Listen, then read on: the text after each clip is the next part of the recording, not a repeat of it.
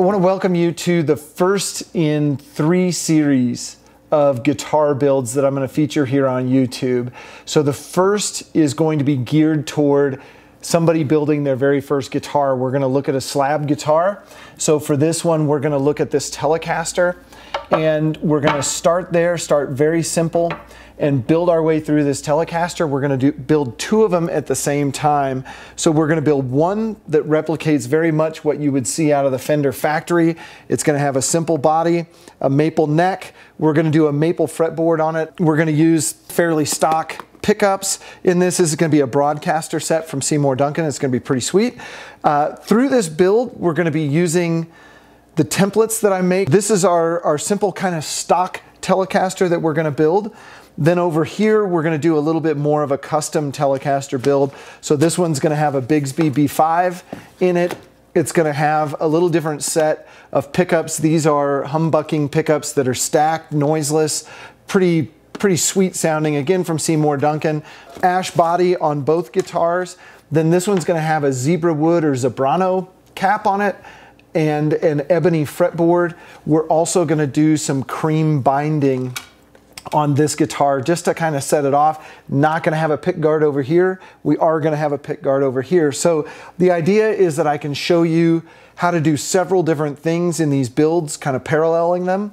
And you'll be able to make the decision on your guitar how you want to proceed with that build. Let's take a quick look at the template set for the Telecaster. And this is a fairly standard way to set up templates. I like the clear acrylic because you can put your center line through there and you can always find it. Uh, you can also use it to line up the grain because you can see through it. This one has some options for different uh, electronics routes. This is pretty standard, standard holes for the bridge and electronics cavity. Then um, there's, you'll notice this is, this is the back side of the body, no neck pocket route in here. This template lines up uh, using two of the bridge holes then you use this piece to route the neck pocket. And then there's some alternate pickup. So if you want to do a humbucking pickup either in the bridge or in the neck position, you can use these routes. So this is an exposed uh, humbucker, so no, no pick guard. This is a humbucker under the pick guard. You can see that Fender, this is a Mexican made Telecaster. It's two pieces of wood, guys. It's a, a body like this, a solid body, one piece. This one out of the factory, they route them for the humbuckers now. A single piece neck, we're gonna do a, a two piece neck because doing the skunk stripe requires some pretty intricate jigging to get the angles and all of those things right. The neck templates, there's three pieces to it. So the first piece is the full neck. So this is the big outline. There's holes in these templates for all of the tuning pegs, all of the fret markers, uh, and then holes to hang them, which is kind of cool. Um, then we have the back of the headstock. So this is the piece where uh, you can transfer the lines for how does the profile carve meet the back of the neck. And then lastly uh, is the heel template. Again, it's just to outline the lines where it transitions between the neck profile and the heel. And then in this template, uh, we've got a 12th fret uh, profile, so you can line that up. And then we've got a first fret profile as well that you can line up so that you get your neck profiles put together for this. I'm gonna be using to do the fret slotting, this template here. And essentially you can use a razor blade and just go through these and mark all of your frets. It's a very inexpensive method for doing fret layout uh, versus some of the nicer templates that are metal that require a pin and a table saw and some other things. Uh, these are very simple and straightforward and you just use them with a handsaw. So that's what we're gonna do for these builds just to keep it simple. I wanna take a quick 15 second time out here and let you know if you want any of the templates or any of the guitar tools that you see me using during these videos, you can check us out at skyscraperguitars.com. You can even get a t-shirt like this if you want to. Um, all of our stuff is made here in the United States of America by some very talented craftspeople, and I would put our quality up against anyone else any day of the week. I think we offer a little bit better price point. My 15 seconds are up. Back to the guitar build. So day one, we're gonna wind up working with three different pieces of wood on our factory build, and we're gonna have four pieces of wood on our custom build. So let's get going on the two neck blanks. That's where we wanna start. And then from there, we'll do our fretboards, and then the last thing that we do, which is usually the first thing people want to do, is our body blanks and getting them ready. Uh, the bodies are the easiest thing to do, the necks are the hardest. Start with the hardest first and work your way in, and that's gonna be, that's my favorite method to work on guitars.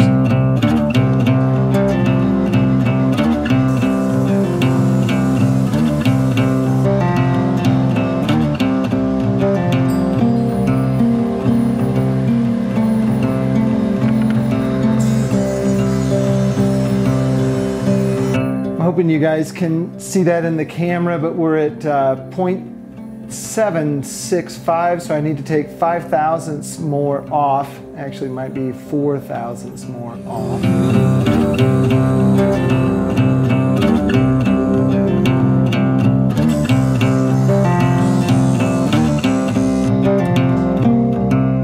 There we are. I hope you can see that. 0.760, maybe 759 thousandths is okay. We're oversized a little bit uh, at that thickness, so we should be good to go. And we got nice mating surfaces here for the fretboard and the neck to come together as well.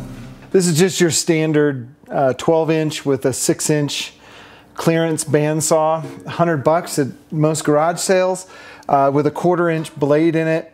Uh, and then I use a pretty wide uh, tooth per inch on it. I can't remember what this particular blade is. It's probably four or five teeth per inch.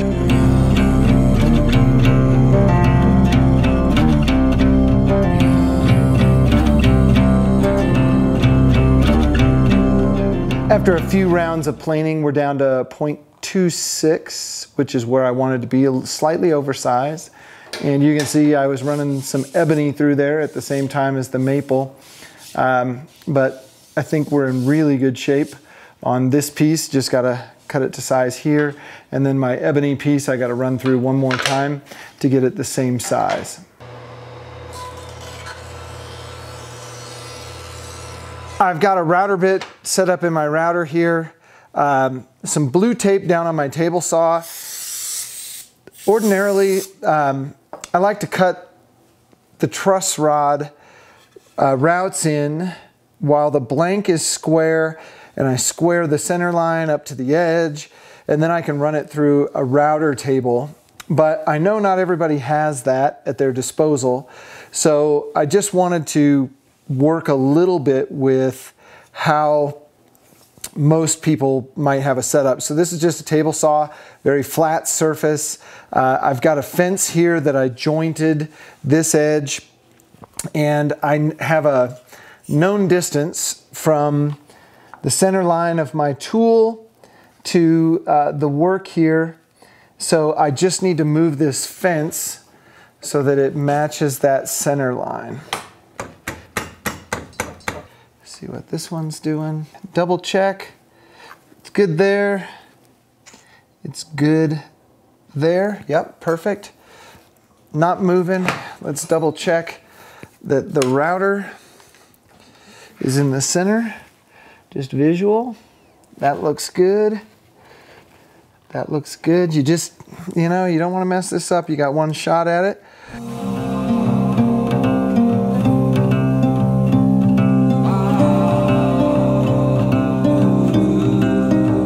Now we'll adjust for a little bit deeper.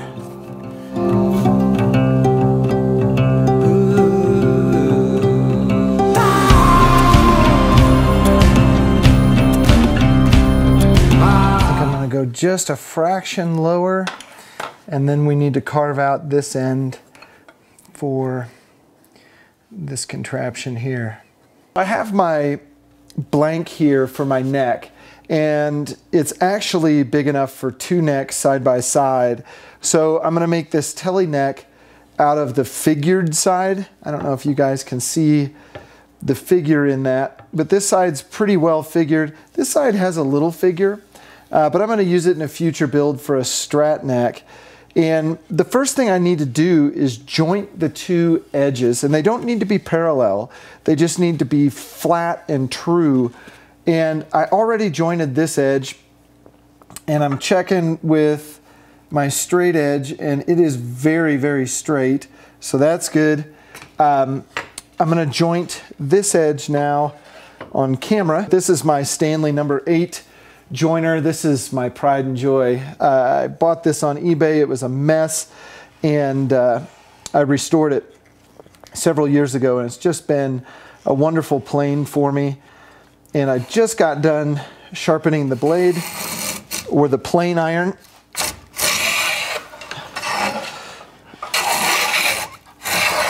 So it's cutting well. This is figured wood. I need to probably take it out just a little bit. Yeah. We just want to nip it, you know? Probably go just a little bit more than that. Let's try that.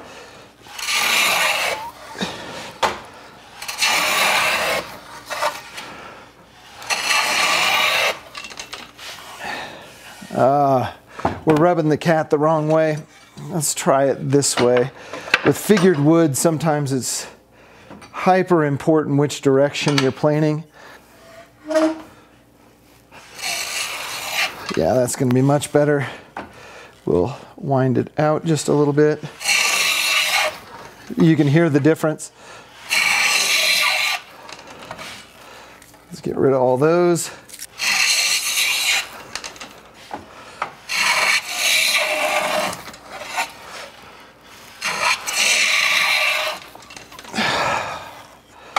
One more. Nope.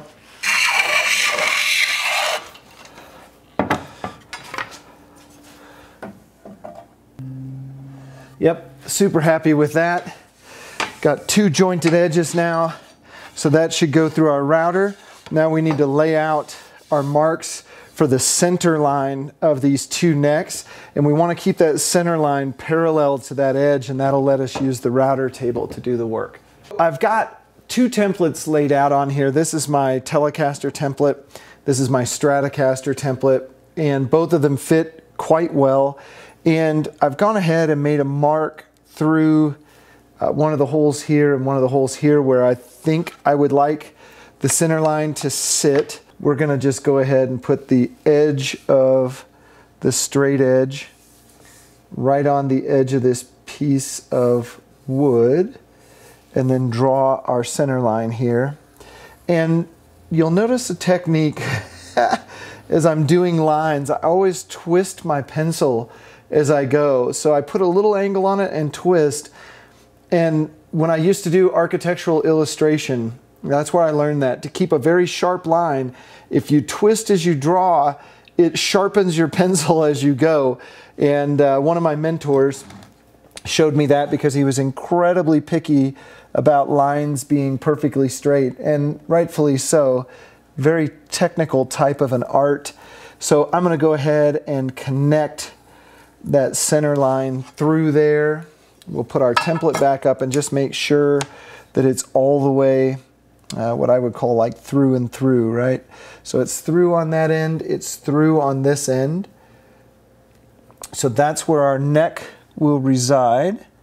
I'm going to get this lined up here. Sorry if I'm if my lights get into the picture, but I have a couple really nice old Luxo drafting lamps that I use. Uh, if you can't see that, it's off camera. This one is a magnifier so I can look through the lens. It usually gets pretty, uh, pretty dusty in here, but I can clean off the lens and I can look through and just make sure that I'm perfectly lined up at all times. And this looks really good. So I'm gonna go ahead and trace it. Again, twisting that pencil as I go. And I, I keep an electric pencil sharpener in my shop here. And I usually keep three or four pencils sharpened up how I like them. And that way, as one gets dull, you can just swap out and grab another. I know those are like silly things to share, but those are the things that to me make a huge difference in accuracy and uh, just your ability to make things happen. So there's our Telecaster neck. I'm going to do the exact same thing for this Stratocaster neck and I'll cut them both at the same time and just have this one sitting around for the next project.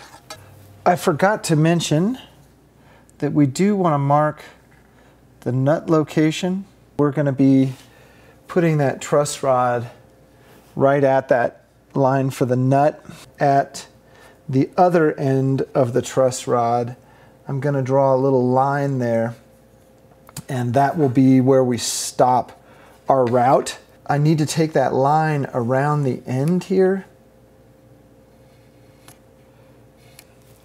So we did the same thing for the line for the nut and we're going to bring that down and around there on the edge so that again as we drag this through the router we can see where that line is. Now we just need to go to the bandsaw and cut these out. It's going to be just a little bit hairy through that corner there, but we're going to we're going to do it. We have we have the technology to make that happen.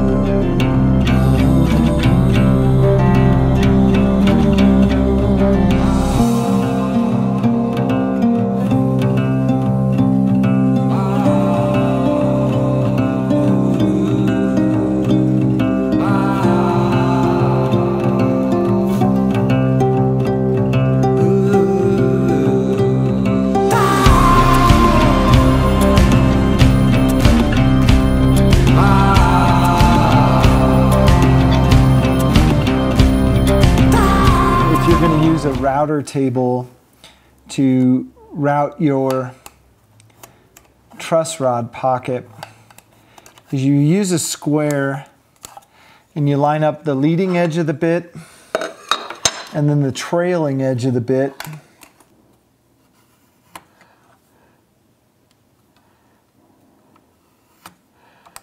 There we go. And we can always stop a little bit short, finish up with a chisel. Essentially, we will come past the bit, set this down, pull it back to the line, pull it back to this leading edge line, right? And then we'll push it through and come to this trailing line, pull it up, adjust the height, and then move on. This is a really nice router lift from Woodpeckers, and it allows you to really adjust in thousandths of an inch. So very accurate way to do it versus the hand router that I showed earlier. I transferred all the marks to the top of both necks so I can line it up either here or I can line it up on the side over there. It's whichever I have the best view of and sometimes that changes so it's nice to have multiple marks to go off of.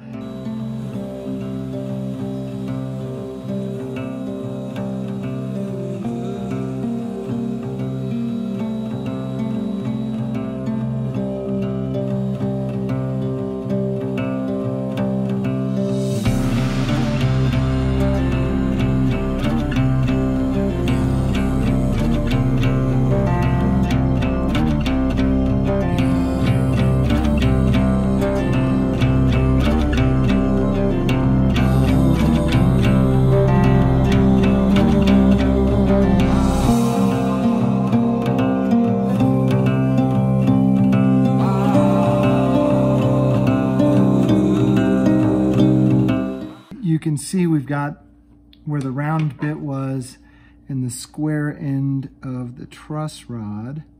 So we're just gonna come in here with a small chisel. This is a quarter inch and this slot is a quarter inch, so it works out. That's looking a heck of a lot better. Now we need to clean up the other end. And we can see that we need to clear out a little material on both sides here.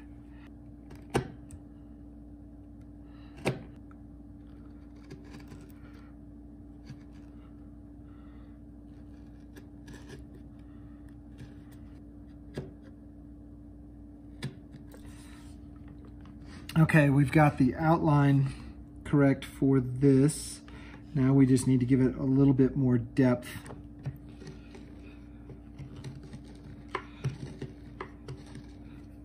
When you get these things this close, one way to tell if they're under or over is to put a little straight rule on them. And if it rocks, it means it's too high. And down here, we can see it doesn't rock, so it's good. It's good, it's good. So really, we're just up in, in this area up top here. And it's not much. Again, just kind of cleaning out the bottom of this groove. Um, using my chisel, a little bit like a scraper. Just need to get a few thousandths more out of here. Very slowly worked our way down to where we're solid all the way down the neck. This truss rod fits very well. Here are the two body blanks, and I wanted to explain a little bit in regard to the grain.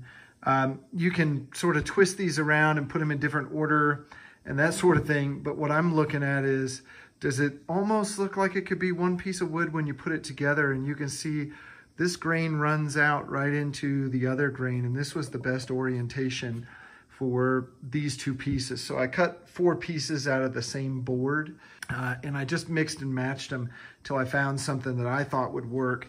This is the second set. Similar thing, it's just got this really narrow band through here that I thought matched up fairly well. And then the cathedrals on these two are gonna be pointing in the same direction. So we'll have two different looks for these two different guitars, but it should be kind of cool.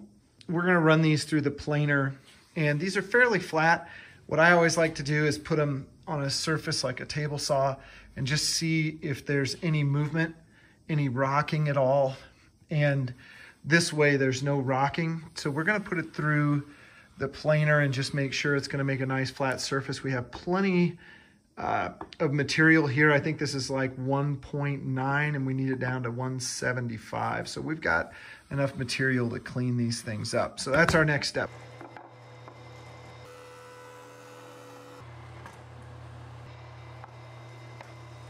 We've got our four blanks, or our four sides anyway, right at one, well, we're just below 1750. There we go. 1745, which means inch and three quarters minus five thousandths, about a little bit thicker than a piece of paper. Uh, the finish will definitely take up some of that. The sanding will bring it down a little bit more. But uh, we're gonna put aside our standard Telecaster pieces. Our T1 pieces here, we're gonna thickness down another quarter of an inch.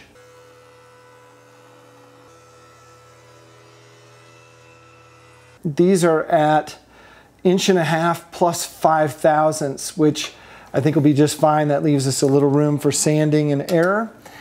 The next thing we have to do, now we have two parallel sides, is we have to come in and joint the edge, the glue edge that's gonna go between these two body blank halves. I've got my joiner set up here to just take a nice thin cut. That's how I like to do it on the joiner. And I've got my pairs back together now. So I've got arrows on the ends that need to be jointed.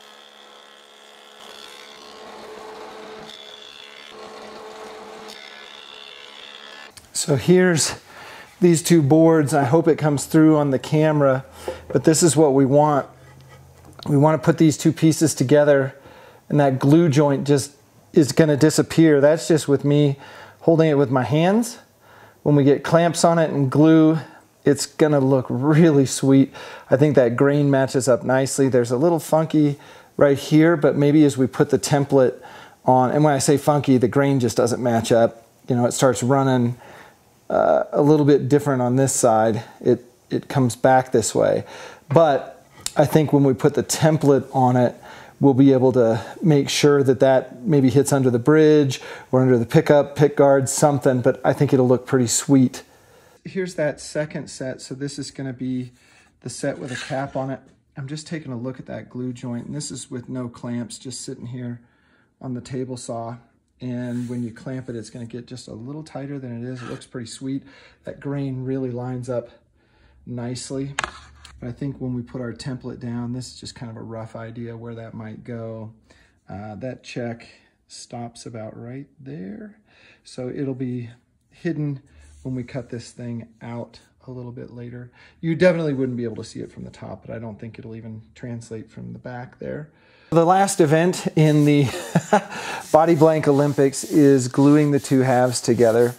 And I always think of this sort of like surgery because it is a timed event. Um, I try and get all my clamps ready, get them positioned so they're you know pretty close to where they need to be.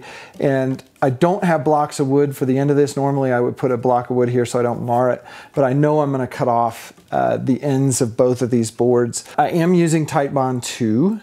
That's what I like. There are people with all different kinds of likenesses for glues. We're going to put it on nice and even.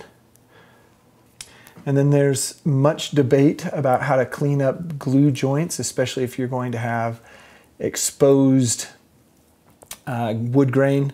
You don't want to get the glue um, to, you don't want the glue to stain the piece that you're working on, especially if it's going to have a clear finish. I like to start by just kind of give it a light squeeze on all clamps. Just make sure that our clamps are in the right spots. Make sure our pieces are in the right spot. Now, I'm gonna put a clamp on the back here because I want this flush more than anything. That looks really good. We'll do the same up here.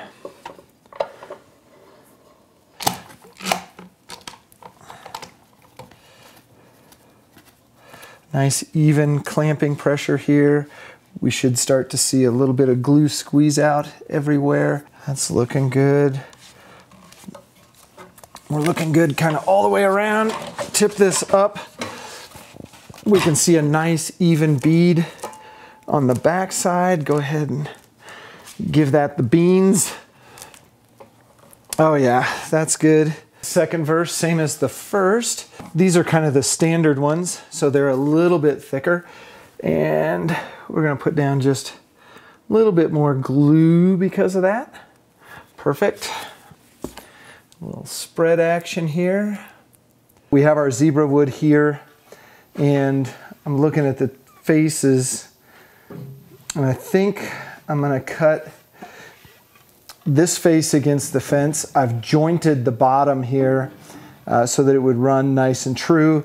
I've got the fence squared up. So I should be able to take two pieces out of this and book match them. This thing is, is really well tuned up. This is a three quarter inch blade. I have bigger blades. Uh, this one seems to be pretty good for this type of wood. This isn't a super hard wood.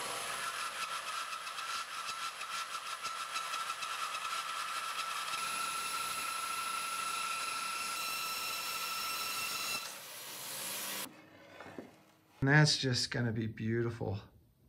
That's gonna be wonderful as a top. So uh, this side's a little bit thicker. I'm not gonna run that through the bandsaw. I'm just gonna run it through uh, the drum sander until they're both the same thickness. And uh, we'll probably have a second top in here for another guitar at another time. So yeah, that's gonna be sweet.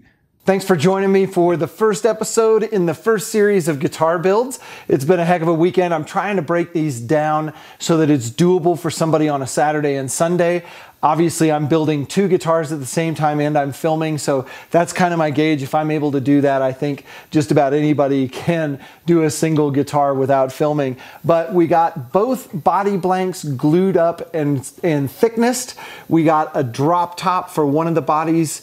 Um, cut and edged, ready to book match and thickness next time.